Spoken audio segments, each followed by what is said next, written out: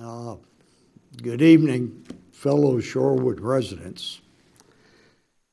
I know over the past few weeks, you've been bombarded with a ton of information coming from the federal government, coming from the state government, and uh, as, as myself, a true believer that this is an absolute worldwide emergency, I've been listening, but I find myself at times getting lost in all the information coming at me. I figured it was my duty to our residents to at least give some information about what Shorewood is doing during this crisis and what some of our plans are. But first, first, I need to thank all the first responders the, the fire departments, our police department, hospital workers, caregivers. And uh, they're out on the front lines and they're putting their lives or their health in, uh, in jeopardy. Those are the true heroes today. Uh, all the politicians in the world aren't the heroes. Believe me, uh, these are the true heroes. And also, I'd like to give a special thanks to the Shorewood Chief of Police, Aaron Klima. He doubles as our as the coordinator. He's been in constant contact with me and uh, Jim Collada, the administrator, uh, and trying to keep things moving along in the emergency services department for the village. I want to thank Jim Parton. He's in the booth right now taping this. He came out, left his family, uh, and uh, came out to get this tape done. Believe me, we're both practicing distance, uh, social distance, as a good measure, and making sure that we wipe down anything we touch on the way in and out of the building. Okay.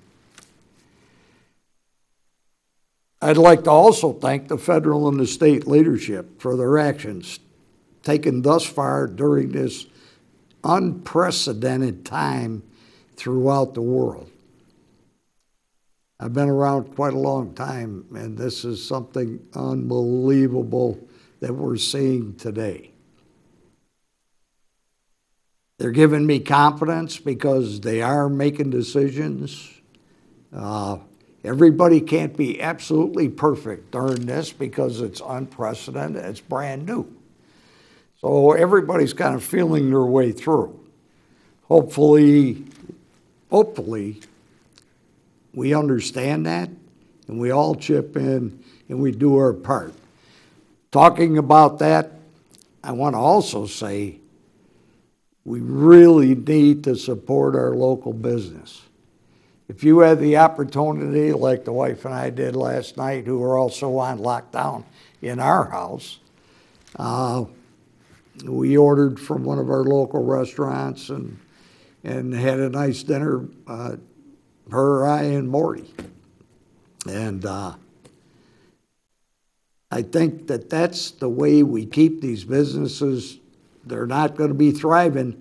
They're just going to be getting by, but they need all of us to be use common sense. If we want them here after this is all over, and believe me, one day this will all be in the rearview mirror, then we need to support them through this crisis time. So if you can, and uh, you know, if you don't usually go out to eat, at least order in, and uh, maybe that'll help out.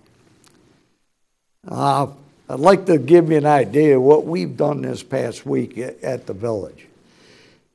Last Friday, March the 13th, uh, the day before the weekend for St. Patty's Day celebration, uh, I asked the chief of police to contact our local bars.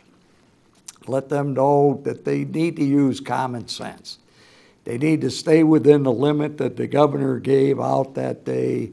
They, they need to uh, use good judgment if they don't believe what's going back then, if they didn't believe what was going on, hopefully today that attitude and that mindset has changed. This is real. If there's anybody trying to tell you that this is a hoax, believe me, just walk away from that person. You're better off. Uh, practice 30 foot distance when you come to somebody like that. Uh, but any rate, I'd like to make this, this is kind of me talking to you as neighbor to neighbor. We, on Monday, we, we took the unprecedented steps to close down or at least get everybody who was non essential. And what I mean by non essential, that doesn't mean their job isn't required or needed to keep things going, but it's non essential for the immediate uh, job so that we could practice social distance and get our employees in a safe situation. The safest place they can possibly be is in their home. Uh, if they come to work, they're going to be together. They're going to keep crossing paths, touching things that somebody else has just touched. So this isolation into, into their home is, is a way that we as a small community can help this virus crest and start to disappear. But we can't shut down services. Our police are still on patrol. They're just practicing their jobs a little different when it comes to social contact. Our police are also in the station. And, but they won't allow people to be coming in and contaminating the area. One at a time, and that with that they can deal with, and then clean down after the person's gone. Ah, like I said, unprecedented situation. And uh, I just want to, to let you know that the village of Shorewood, the leadership in Shorewood, is on top of this and have been since the onset. And that uh, if you need anything, you need to go to the website, okay, www.vil.shorewood.il.us.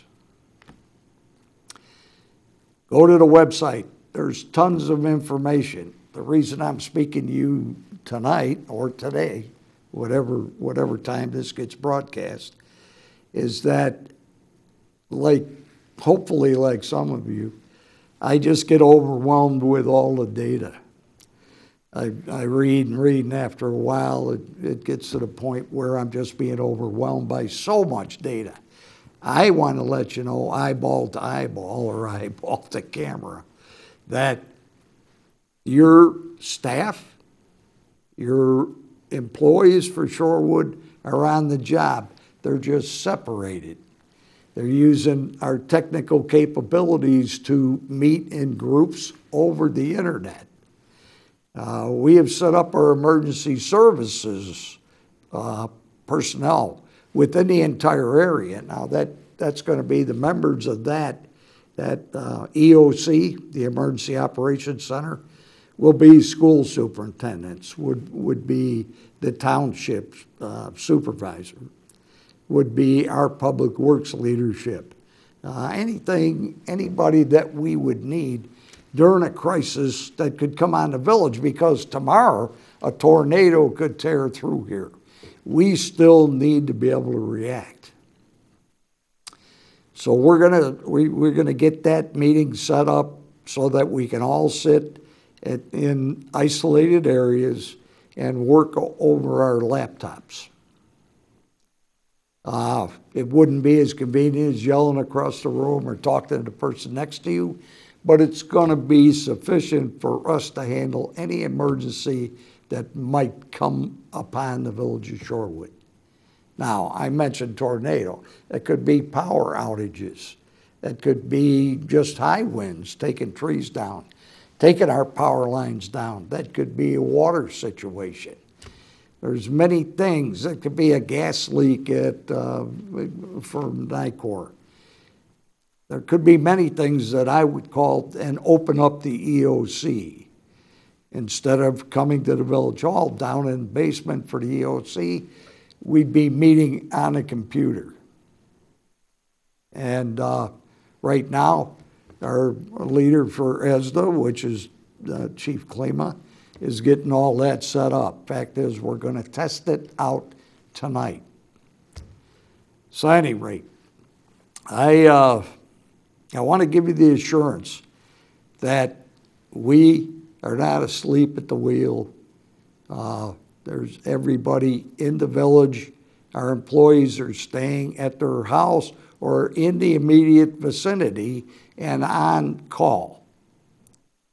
Uh, anybody who's necessary to come in, uh, like our water department people, are practicing uh, the social distance uh, factor put out by the CDC.